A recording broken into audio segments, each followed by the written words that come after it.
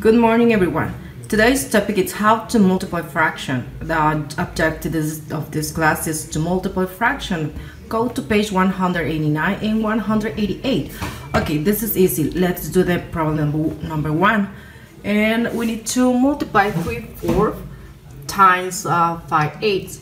Okay, that's really easy. Only you need to do is multiply the numerators like this and the denominator like this okay let's write it here. 3 times 5 15 right? Look at 5 times 8 32 very good but it's not the real answer. You need to check something. Simplify always. If you have improper fraction or if you need to simplify um, on this case, we don't need to simplify because they are in different tables that stopped here and that is the answer. Let's do another who in which we have to simplify.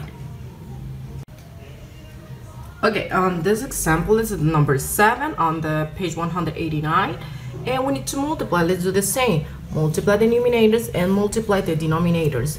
2 times 5, 10, right here and 5 times 2 is 10 what happens when you have the same number over the same number? That's it's equal to half a unit.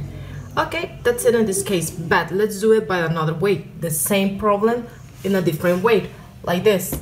Okay when you have the num the same number in the denominator and the numerator we cancel out this like and the same here 2 and in the numerator and 2 in the denominator. Let's cancel out and now the result in this case is a unit. This is another way to do it. You want to do the simplest one like this, that's easy. You just have to multiply the numerator, put in the numerator, and multiply the denominator, and the answer write it in the same place, in the denominator.